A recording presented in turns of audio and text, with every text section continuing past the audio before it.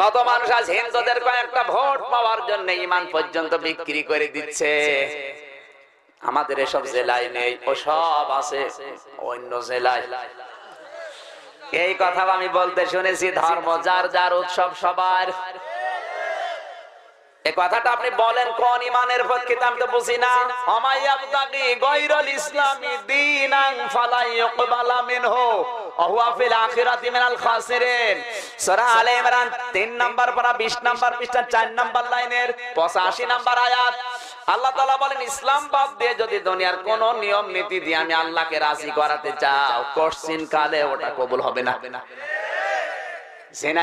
কি বুঝলেন আপনি এখান থেকে? ইসলাম বাদ দিয়ে যে যা করুক, ওটা যাই হোক না কেন, কবুল কোনদিন হচ্ছে না, হবে না। আরও জোরে বলেন।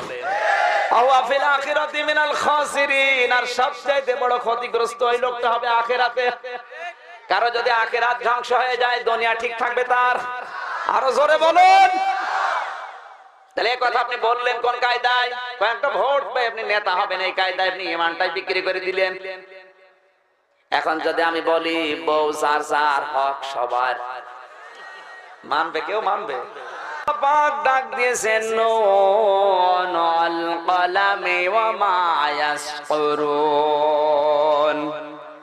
নুন দিয়ে আল্লাহ তামাম দুনিয়ার মানুষের মুখে তালা লাগিয়ে দিয়েছেন। কিয়ামত হয়ে যাবে, কিন্তু নুন শব্দের ব্যাখ্যা মানুষ আবিষ্কার করতে পারবে না। কথা বলেন ঠিক কিনা? পৃথিবীর অন্যান্য বই, কিতাব আর কোরআনে কারিমের ভেতরে পার্থক্য এক নম্বরে এইটা। কোরআনে এমন কিছু আয়াত আল্লাহ দিয়েছেন প্রায় উনত্রিশ জায়গায়। আপনি সব আয়াতের ব্যাখ্যা, বিশ্লেষণ, অর্থ করতে পারলে ওই উনত্রিশটা আয়াতের অর্থ আপনি করতে পারবেন না। এটাই স্বতন্ত্র। আল্লাহ পাক বলেন, আল কলাম ইয়ামা ইয়াসতারুন। কলমের কসম কিসের? সবাই বলেন তো। কলম। কলম মানে দুনিয়ার এ সমস্ত কলম হতে পারে। আবার যে কলম দিয়ে আল্লাহ কোরআন লিখেছেন, লাহে মাহফুজে ওই কলম হতে পারে। আল্লাহ বলেন, কলমের কসম আর কলম দিয়ে লেখকরা যা লেখে ওই জিনিসের কসম। খেয়াল করা লাগবে। এটা তাফসির মাহফিল না? শব্দ থেকে কিছু তো নিয়ে আসা লাগবে। কলমের কসম আল্লাহ কেন দিলেন? এই পৃথিবীতে যত ভালো কাজ হয় আর যত আকাম হয়, সব কিছুর মূলে কলম। একটু লক্ষ্য করে দেখেন কলম দিয়ে মানুষ চাল দলিল করে ভাইয়ের শপথ লিখে নেয়। এ কলম দিয়েই ভালো মানুষকে কালার করে জেলখানায় পাঠায়। এ কলম দিয়েই কত ভালো মানুষকে ফাঁসি দিয়ে দুনিয়া থেকে বিদায় করে দেয়। আবার এই কলম দিয়ে একজন ভালো মানুষকে কালার করে রাতের বেলা ধরিয়ে দিচ্ছে। কিচ্ছু জানি না ঘুমিয়ে চোখ খুলে দেখে জেলখানায়। কি গো? তোর নামে মামলা হয়েছে, এই দেখ তার কাগজ। তাহলে আমরা দেখলাম সব কিছুর মূলে কলম। আবার এই কলম দিয়ে এসি রুমের ভেতরে এক খোসা দিয়ে পাঁচ কোটি টাকার মালিক হচ্ছে। ব্রিজ খায় কলম দিয়ে, রাস্তাঘাট, সেতু, সুন্দরবন যা কিছুর মূলে ব্যাংক পর্যন্ত খেয়ে ফেলছে মানুষ কি দিয়ে? সবাই বসেন তো আমার কথা। কি দিয়ে খাচ্ছে বলুন? সব কলম। ইশারায় এমন কিছু মানুষ আছে, যারা কলম যোদ্ধা করে সত্যকে পৃথিবীর মানুষের সামনে তুলে ধরছে বিভিন্ন কায়দায়। এরকম সাংবাদিক, এরকম কলামিট, এমন লেখক দুনিয়ায় আছে না নেই? কেউ কলম দিয়ে মানুষের ক্ষতি করছে কেউ কলম দিয়ে সত্যটা প্রকাশ করার জন্য জীবন বাজি রেখে লিখে যাচ্ছে। এটা আপনার কলমের জিহাদ। আল্লাহ পাক বলেন আমায়াস্তরুন এই কলম দিয়ে লেখকরা যা লেখে, ওই লেখা জিনিসের কসম কেন দিলেন? কারণ আপনি হয়তো দশ বছর, বিশ বছর, পঞ্চাশ বছর পরে থাকবেন না, কিন্তু আপনার লিখিত বিষয়গুলো থেকে যাবে। আরও আসতে বলেন, আপনি যা লিখেছেন, ওইটা কিন্তু থাকবে। এই যে হুমায়ুন আহমেদ, আল্লাহর অলি যা লিখেছে, ও কিন্তু মারা গেছে। কিন্তু ওনার লিখিত বিষয়গুলো শেষ হয়ে যায়নি, এখনও পর্যন্ত আছে না নেই। ওনার ওই লেখা দিয়ে মানুষ এখন সিনেমা বানাচ্ছে, নাটক বানাচ্ছে, ওনার স্ত্রী ছোটটা শাওন। যা বানাবে, উনি কবরে আছে, সব বিকাশ হয়ে কবরে যাবে। যদি বলেন হোনা ওনার তো বিকাশ নাম্বার খোলা ছিল না, এমনি খুলে যাবে। ওনারাই লিখিত বিষয়গুলো উপন্যাস লিখে গেছে, নাটক লিখেছে, ছোট গল্প লিখেছে। ওই লিখিত বিষয়গুলো এখন তৈরি হচ্ছে সিনেমা। এই যে পবিত্র ভালোবাসা নামে একটা সিনেমা তৈরি হয়েছে। মাহিয়া মাহিয়ার নায়িকা আল্লাহর অলি না? এর বিপরীতে অভিনয় করেছে হিন্দু রূপম নায়ক। চরিত্রটা এরকম। এ মাহিয়া মাহি একজন পর্দানসীন মেয়ের চরিত্র অভিনয় করেছে বোরকা পরা। কিন্তু রূপমের সাথে প্রেম করে নিজের ধর্ম ত্যাগ করে হিন্দু হয়ে গেছে। শুধু হিন্দু হয়ে শেষ করে দেয়নি। ওর সাথে বিয়ে করার জন্য পালিয়ে গেছে। এদের এই বিয়ে যারা মেনে নেয়নি, যারা পরিবারে আছে বাবা, মা, ভাই, বোন, এরা মেনে নেয়নি বিয়ে। এই বিয়েকে মেনে নেওয়ার মতো। যারা মেনে নেয়নি তাদেরকে উগ্রবাদ, মৌলবাদ, সন্ত্রাসী। এগুলো হিসাবে দেখানো হচ্ছে। কোথায় আঘাত দিয়েছে আপনি টের পাচ্ছেন? এই সিনেমাটা দুইশো আঠাশটা রাষ্ট্রে চলবে পৃথিবীতে। যত ভাষায় রূপান্তরিত হবে, এখন ভাষা আছে প্রায় সাড়ে চার হাজার। এই সাড়ে চার হাজার ভাষায় যদি সিনেমাটা রূপান্তরিত হয়ে বিভিন্ন ভাষার লোকেরা দেখে, বিভিন্ন জাতির লোকেরা দেখে, অন্যান্য জাতির লোকেরা মনে করবে মুসলমানের পর্দা করা, মুসলমানের বোরকা পরা মেয়েরা মনে হয় এরকমই কথা বলে না কেন? মুসলিম পর্দানসীন মেয়েদের সম্পর্কে একটা খারাপ ধারণা আসবে না আসবে না। তাম দুনিয়াতে মুসলমানদেরকে কালার করার জন্য এ সিনেমা করেছে। এ দোষ শুধু মাহিয়া মাহির না রূপমের না, পরিচালকের না।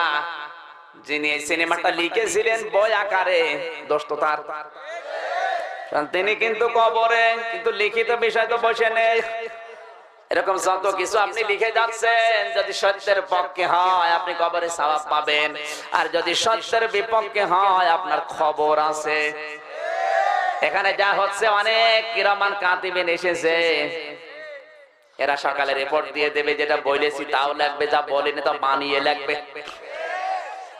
কলম সাংবাদিক যারা আছে, আল্লাহ বলেন, আল কলাম ইয়ামায়াস্তরুন কলমের কসম, এই কলম দিয়ে লেখকরা যা লেখে, ওই লেখা জিনিসের কসম। সুতরাং যা লিখবা, হিসাব নিকাশ করে লিখবা, এই লেখাটা আবার উল্টিয়ে তোমার পক্ষে যেন না যায়। কথা বলেন না কেন? আপনি যা লিখছেন, ওইটা যদি আমরা বিপক্ষে চলে যাই, কিয়ামতের ময়দানে ওই লিখিত বিষয় যদি নাও যায়, আপনার যে হাত দিয়ে লিখেছেন, ওই হাত কিন্তু বসে নেই। আল্লাহ পাক বলেন আলিয়াউমা নাখতিমু আলা ফাওয়াহিহিম ওয়া তুকাল্লিমুনা আইদিহিম ওয়া তাশহাদু আরজুলুহুম বিমা কানু ইয়াকসিবুন। সূরা ইয়াসিনের 65 নাম্বার আয়াত, কিয়ামতে মুখের উপর আমি আল্লাহ তাআলা লাগিয়ে দেব, সেলাই করে দেব, হাত বলবে, আল্লাহ আমাকে দিয়ে এই জিনিস লিখেছিল। বলবে, আমাকে দিয়ে হেঁটে গিয়েছিল জায়গায়। যে যা আছে শরীরের ভেতরে সব আপনার বিপক্ষে অবস্থান নিয়ে, তখন আপনি বুঝবেন সাংবাদিক হওয়ার কি জ্বালা? হ্যাঁ সাংবাদিক, ভালো জিনিস। অবশ্যই আপনি ইসলামের পক্ষে, মানবতার পক্ষে লেখেন। দুনিয়ার কেউ যদি আপনাকে দাম নাও দেয়, এই সাংবাদিকতার কারণে আপনি জান্নাত পেতে পারেন। এটা যদি আজ উল্টিয়ে পাল্টিয়ে উল্টা পাল্টা করে মানুষের সম্মান নষ্ট করেন ব্ল্যাকমেল করে মানুষের কাছে চাঁদা দাবি করেন, এরকম সাংবাদিক বাংলাদেশে এখন নেই। কিছুদিন আগে আমার একটা মাহফিল ছিল, সিলেট ওসমানীনগর।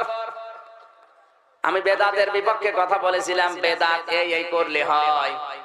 এক শয়তান মাঝখান থেকে উঠে আপনি আল্লাহর অলিদেরও মানেন না। জনগণ কিন্তু ধরে ওরে মারতো আমি যদি একটু বলতাম, ধরেন তো, ওরে একেবারে ছানা পড়া করে ফেলতো। আমি ঠেকিয়ে দিলাম, অসুবিধা নেই না বুঝে বলেছে। এরপরও দুই ঘণ্টা কথা বলেছিলাম, বারোটায় মনাজাত করে নামলাম, কোন অসুবিধা নেই। সকালবেলা সবুজ সিলেট নামে এক পত্রিকা আছে, এ দালাল। টাকা খেয়ে আমার বিরুদ্ধে উল্টা পাল্টা লিখে দিয়েছে, কমিটির লোকজন, এলাকার লোকজন নাকি আমার উপরে ক্ষিপ্ত, অথচ কিচ্ছু না, সব মিথ্যা কথা। অথচ মিথ্যা সংবাদ কিন্তু প্রচার করে দিয়েছে। সারা পৃথিবীর মানুষ যদি ফেসবুকের মাধ্যমে তথ্যটা পায় বেদাত পন্থীদের পক্ষে মানুষ অবস্থান নেবে, আর যারা হক পন্থী তাদের বিপক্ষে মনে করবে ঠিকই, এরা মনে হয় মায়েরই খায়। কিছু মানুষ বলেছেও না বুঝে। অথচ সত্য কথা এই, যারা ওখানে ছিল, উপস্থিত, আপনি জিজ্ঞাসা করবেন। দোষ কিন্তু ওই লোকেরই, ওই মার খাত যাচ্ছিল। সম্মানিত ভাইরা, এই যে মিথ্যা কথাটা আপনি প্রচার করে দিলেন। যত মানুষ এটা শুনে আজেবাজে মন্তব্য করেছে, আপনি তো শুধু লিখে ছেড়ে দিয়েছেন। কলমে অমায়াস্তরণ কোথায় যাবে? লেখকরা যা লেখে, ওই লেখা জিনিসের কসম আল্লাহ এই কারণে দিয়েছে এই জন্য এমন কিছু লেখা যাবে না, যে লেখা আপনার বিপক্ষে যাবে। কথা বলেন। এমন এমন কিছু রায় লেখা হয়, ফতোয়া দেওয়া হয় যে ফতোয়া ঘুরে আবার নিজের দিকে আসে। পীর সাহেবের জীবনী পড়েছিলাম, এক পীর আর এক মরিদ, দুইজন গেছে এমন একটা দেশে, যেই দেশে ঘির দাম আর তেলের দাম সমান সমান। ঘির দাম আর তেলের দাম সমান হলে মানুষ বাঁচবে। মরিদ বলছে, হুজুরে, ভালো দেশ পেলাম। আমি তেল আর মাখবো না, খাব না, শুধু ঘি খাব, মোটা হব। সাহেব বলছে, বেটা, শোন, যে দেশে তেলের দাম আর ঘির দাম সমান দেশের মানুষ সব জালেম, এদের কোনো বিচার নেই। তুই ঘি খাবি না, তোর কোনো ক্ষতি হয়ে যাবে, বলছে, তোমার ফতোয়া বাদ দাও। পীর সাহেব কিন্তু আমি মানি না। আপনি যদি যায়, যান, আমি যাব না, এই দেশে আমি থাকব, আমি ঘি খাব, মোটা হব। মন মতো ঘি খেয়েছে, ঘাড় হয়ে গেছে, একেবারে সিংহের মতো। ওই দেশে তো ওই চোর চুরি করতে গিয়ে ধরা পড়েছে। ধরা পড়ে নাই। দেওয়াল চাপা পড়ে দুইটা চোর মারা গেছে। চোরের বাবা এসে বাদশার গালে নালিশ দিচ্ছে, বাদশাহ, আমার দুইটা সন্তান মারা গেছে চুরি করতে গিয়ে। কত চাপ আমার উপরে, কত কায়দায় মানুষ দিতে আছে যে বসুন্ধরা তো একটা ইমামতির কথা বলেছিল। এফডিসি তে একবার বলেছিল এফডিসির যিনি ইমাম ছিলেন মুরব্বী মানুষ একেবারে মুরব্বী হয়ে গেছে। আমি দেখতে গিয়েছিলাম পছন্দ হওয়ার পরে আমারে বলছে শুধু চার জমান নামাজ পড়া বা চার জমা চল্লিশ হাজার টাকা দেবো কিন্তু বাইরে যেতে পারবা না। তাহলে ওদের নিয়ত ছিল একটা একে যদি ইমামতির এই কায়দায় আটকিয়ে ফেলা যায় তাহলে সারা বাংলাদেশে কোরআনের কারিমের যে প্রচারগুলো হচ্ছে এর দ্বারা এটা বন্ধ হবে। ওদের ষড়যন্ত্র কিন্তু ওইটা না সূক্ষ্ম ষড়যন্ত্র কারণ ওখানে টাকা যারা দিচ্ছে, আমি তো জানি, ওখানে টাকা দেয় ডিপ জল। অনন্ত জলিল। ধরে বলো সোবান আল্লাহ এদের টাকা তো সব হালাল। আমার চল্লিশ হাজার টাকা সাজ জমায় তো এমনি দেবে না। একটা অধ্যাপক বেতন পাই বিশ হাজার, বাইশ হাজার টাকা এক মাস। আর আমার শুধু সাজ জমায় চল্লিশ হাজার দেবে, এমনি দেবে। ও টাকাগুলো সব আল্লাহর অলিদের ওদের নিয়ত কিন্তু আমার শুধু দিয়ে নামাজ পড়াবে তাই না। আমার নিয়ত ছিল এই যে আটকে যদি ফেলা যায় এই জায়গা দিয়ে, তাহলে বাইরে যেতে পারবে না, কোরআনের কথাগুলো প্রচার এর মাধ্যমে হবে না। আর আমি যতটুকু দেখেছি, বাংলাদেশে হাজারো বক্তা কোরআনে কারিমের সঠিক কথাগুলো অধিকাংশ বক্তা বলতে চায় না। আজ কথা বলা হয় হরিণের জীবনী নিয়ে। হরিণ একটা বান্দা ছিল গাছারি তলায়। অথচ ওটা কোরআনে নেই, হাদিসে নেই, ইসলামের ইতিহাসে নেই ভণ্ডরা সব বানিয়েছে। ও কথা কিয়ামত পর্যন্ত বললেও ইসলামের কোনো অসুবিধা নেই। ইসলাম পরিবর্তন পরিবর্তন হবে না, ইসলামের কোনো উপকার হবে না। আপনাকে সারা জীবন যদি আমি বলি বলি যে হরিণ একটা বান্দা ছিল গাছের তলে কি হবে বলেন? কিছু হবে?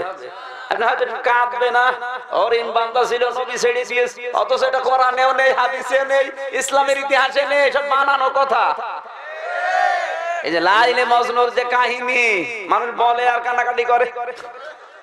লাইলি মজনুর কাহিনী কোন জায়গায় নেই, কাল্পনিক কাহিনী। অনেকে বলে কেউ যদি দাড়ি না কাটে লাইলি মজনুর বিয়ে খেতে পারবে। ওরে শয়তান লাইলি মজনুর কিসের বিয়ে।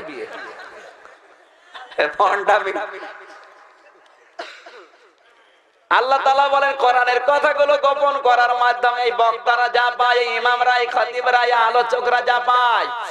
ওলাইকা ফি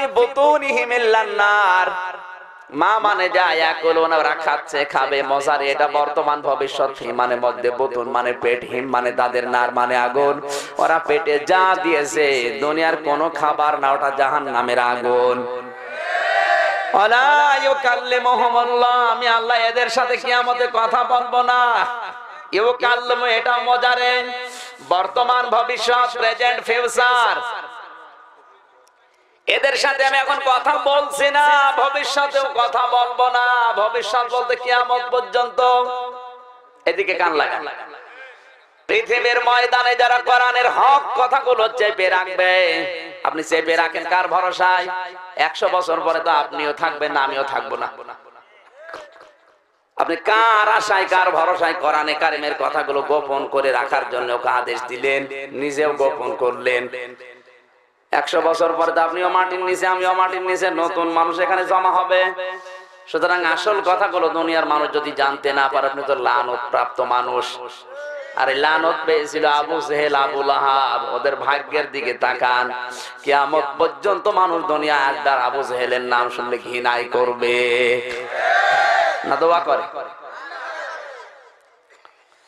এই জন্য আল্লাহ কথা বলছেন আমাদের সাথে, কথা বলবেও না। আজ হাজার হাজার পীর কোরআনে কারিমের কথা নেই, ওদের মুখে ওদের বাপ দাদার কাহিনী চলে। ওদের মুরব্বীদের জীবনী শোনায় মানুষকে। কোরআন শরীফ থেকে একটা আয়াত পড়ে ব্যাখ্যা করতে পারো না। মানুষ তো তোমার বাবার কাহিনী শোনার জন্য আসে না, আসে কোরআন শোনার জন্য নাকি? এক কথা বলা লাগবে। যারা এগুলো গোপন করে দেয়, ওদের সাথে আল্লাহর কোনো কথা হচ্ছে না। হবে না, বলেন না কেন? কেউ কানলেমো মজারে, কোরআন বসা লাগবে আপনাকে। যাদের সাথে আল্লাহ কথা বলে না, বলবে না, ওরাই বলছে আমার আল্লাহর সাথে কথা হয়। যেমন এই দেওয়ান বাগি, ওই শয়তানের সাথে আল্লাহর কথা বলতে বয়ে গেছে। ও বল সরাসরি আল্লাহর সাথে আমার সাক্ষাৎ হচ্ছে। তাকিয়ে দেখলাম আল্লাহ রোহিঙ্গাদের ব্যাপারে একটু চিন্তায় আছে। ও শয়তানের সাথে আল্লাহ কথা বলবে কোনোদিন? তো নির্ভেজাল শয়তান। যারা মানুষকে গমরা করার জন্য এজেন্ট নিয়েছে শিরিক আর বেদাত চালু করেছে দরবারে, ওদের সাথে আল্লাহর কিসের কথা? আল্লাহ বলেন ধরনের মানুষের সাথে আমার কথা নেই কথা বলবো না ওদের পবিত্র করছি না করব না তার মানে ওদেরকে জাহান নামে দেব জান্নাতে দেবই না কারণ পবিত্র হওয়া ছাড়া জান্নাত কেউ পাবে না কোন অপবিত্র মানুষকে আল্লাহ জান্নাতে দেবে আরো জোরে বলুন ফালা نقيم لهم يوم القيامة وزنا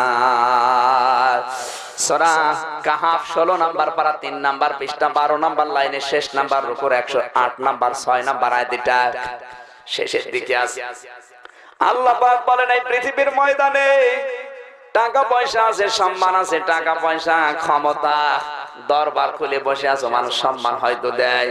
কি আমাদের ময়দানে তোদের দিকে আমি ঘুরেও তাকাবো না, তোদের আমি কোনো গুরুত্বই দেব না। সরে বলেন, নাউজুবিল্লাহ। জেনায়দা বাসি শুধু শোনার জন্য না, নিজের সাথে মিলান।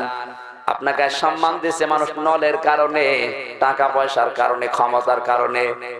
আপনি মরে যে দেখেন তো, কুকুরও আপনার জন্য কাঁদবে না। মানুষ তো দূরের কথা, কুকুরও কাঁদবে না। এই জন্য বক্তা যারা যাদের জন্য সতর্ক হওয়ার সময় এখনই এই জন্য তো রিক্স নিয়ে কথাগুলো বলা হয়। নয়তো কত কিসা কাহিনা আমার মুখস্থ আছে। ও সাতা হাজার হাজার কাহিনী আমি এখন শুরু করলে সারা রাত কেটে যাবে। এক মোসানবির কাহিনী আমি পাঁচ ঘণ্টা বলতে পারব, অসুবিধা নেই। সাদা বলে লাভ নেই এখন। কাহিনী অবশ্যই বলা লাগবে, কিন্তু পাশাপাশি ফেরাউনের জীবন তুলে ধরা লাগবে। সেদিন গিয়েছিলাম গায়ে বান্দা আমার বছর বছর মোসানবের কাহিনী সুন্দর করে বলেন তো। ঠিক আছে। মোসানবের কাহিনী দশ মিনিট বলার পর ওর এগেনস্টে ছিল ফেরাউন, তার দশটা কর্মসূচি ছিল রাষ্ট্রে। একটা একটা করে তুলে ধরেছে। সামনে থেকে একজন বলছে, হুজুর, আপনি আমারে বললেন। আর শয়তান। আমি বলছি, ফেরাউনের কাহিনী, তোর কি? না আমার সাথে মিলিয়ে যাচ্ছে। এখানে এরকম ফেরাউন থাকলে ওর জীবনে মিলবে। আমি এখন ফেরাউনের কাহিনী গোপন করে দিই। এই জন্য বক্তা যারা, তারা সাবধান। দুই নম্বরে যারা কমিটিতে আছে, এই যে আল্লাহর অলি এবার এনাদের বলি, আল্লাহ পাক বলেন, কমিটির লোক যারা মাহফিল যারা দিয়েছে, তাফসীর মাহফিল, ওয়াজ মাহফিল, এদেরকে বলছি, অমানা আসলামু মিম্মাম মানা মাসাজিদাল্লাহি আইয়ুযকার ফি হাসমুহু ওয়া সাআফি খারাবিহা। أولئك ما يأكلون في بطونهم إلا النار أولئك ما إلى آخر آيات সরাই বাকারার একশো চোদ্দ নম্বর আয়াত এটা প্রথম দিকের শব্দের দিকে খেয়াল করেন অমান আজলাম এসমে তাফজিল আল্লাহ বলেন বড় জালেম দেখতে চাও সব চাইতে বড় জালেম পৃথিবীতে ওই মানুষগুলো, ওই কমিটির লোকগুলো।